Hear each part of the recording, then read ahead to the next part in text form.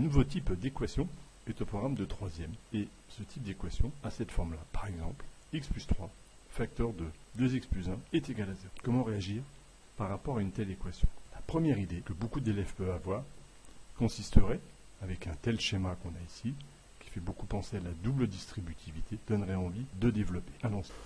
C'est un calcul classique, on développe tranquillement en faisant la double distributivité, et après avoir réduit, on obtient 2x carré plus 7x plus 3.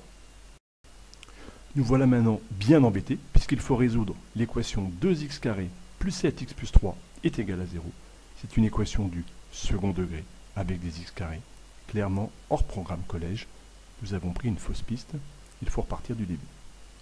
Si on regarde l'équation telle qu'elle nous est proposée ici, on voit précisément qu'elle n'est pas donnée sous forme développée, mais sous forme factorisée. On a donc ici, à gauche, un produit qui est égal à 0. Et en fait, cette forme très particulière d'équation, il ne faut surtout pas la développer comme on vient de le voir, puisqu'on tombe sur un obstacle, qui va être niveau lycée, mais on va utiliser cette forme très particulière d'équation qui nous est proposée sous forme de produit, en utilisant une propriété qui est extrêmement intuitive, qui nous dit que si un produit est nul, alors au moins un de ces facteurs est nul. Ici, il y a deux facteurs, x plus 3 et 2x plus 1.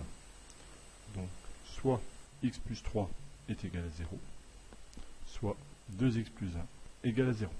Soit x plus 3 est égal à 0, ce qui revient à dire que x est égal à moins 3, ou alors si 2x plus 1 est égal à 0, ce qui revient à dire que 2x est égal à moins 1, et donc que x est égal à moins 1 demi. Il y a donc deux solutions, une pour chacune de mes deux équations. L'équation x plus 3 facteur de 2x plus 1 est égal à 0 admet deux solutions, moins 3 et moins 1 demi.